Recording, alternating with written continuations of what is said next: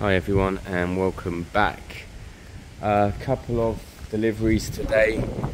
Uh, rebuilt fuel pump for the Peugeot. Good. Looking forward to trying that. Peugeot's been running but it hasn't had full power for a long time. And uh, and it was had a fault code and it was really playing up towards the end. Diagnostics said um, pump and they're 550 pound new someone rebuilt this for 180-ish, so that's good. I'm going to pop that on today. Hopefully we're back on track with the Peugeot. That's my daily. It's my dad's daily. It just And I love it. I, you know, I really love that car. Um, secondly, here, this is very, very exciting, I think, because this is the uh, Honda uh, correct Honda CB200 fuel tap.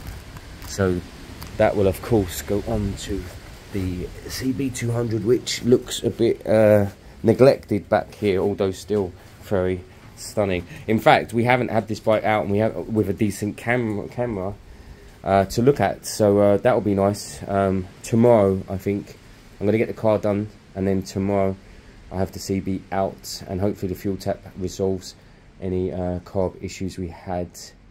Um, but also I believe I put in if I remember rightly I put in a new uh, float system or something. I'll need to get them carbs out and just have a little look over them. They're so quick and easy to work on that uh, I don't worry at all about them.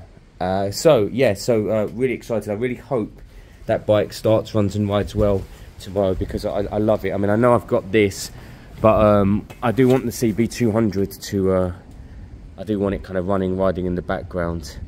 Uh, not much to do, not much to do. I'm not going to do much filming today because uh, I, I can't stand car stuff.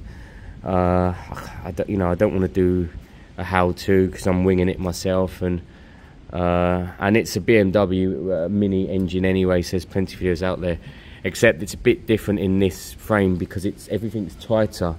Anything they can do in in the Mini, there's space for, but when they put that engine in here, it's really tight. Uh, the 390 is running so well. Um, I've been reading up about it, I've been looking up about it, and the uh, they say it's lumpy on the bottom end. It's not lumpy at all on the bottom end. I, uh, the only people I think who are saying that are people who haven't ridden singles before, um, as in singles that are bigger than 125s. Uh, we used to call them thumpers for a reason. They're big fat pistons, they're thumping up and down. Uh, bottom end is a bit weak like every other thumper and then when you get it into its power band it, it, kicks in really nicely. You'd never know it was a single that when it kicks in at kind of three or four thousand revs.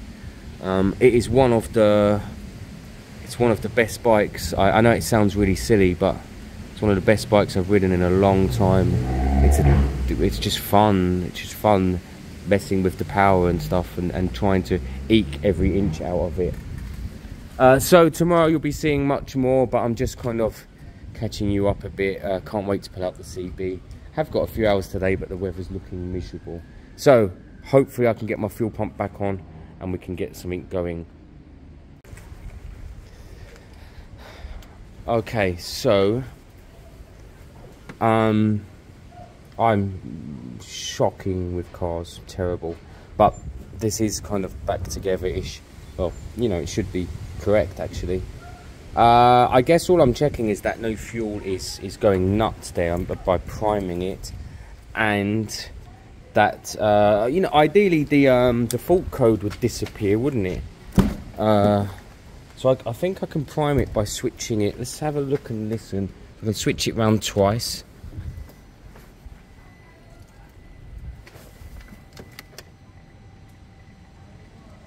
I don't, I don't know if that does prime it actually because it's Maybe it, it works on the crank.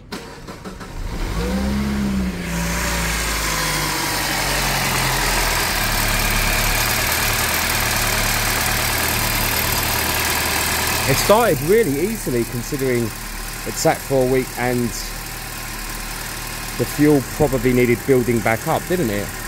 Um, I can see the footage uh, is, is much smoother on my phone, but when I edit it and watch it later, it don't look as smooth but some of you have said the new camera is pretty good at the moment um, if anyone's not seeing good footage on the camera uh, please do let me know because I'm still playing with the settings.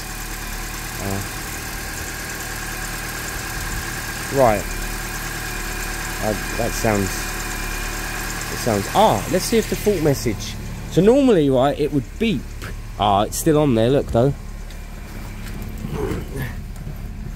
But normally it would say. Oh, it does feel it does feel a bit chunkier. Right, let me just check something. So normally it will go like a stop or do not drive. I mean, it's been doing that for a year. I never actually stopped. Um, yeah, look, engine fault uh, repair. Uh, wow, in the footage they look like they're flashing, but they're not. Right, um, that is flashing.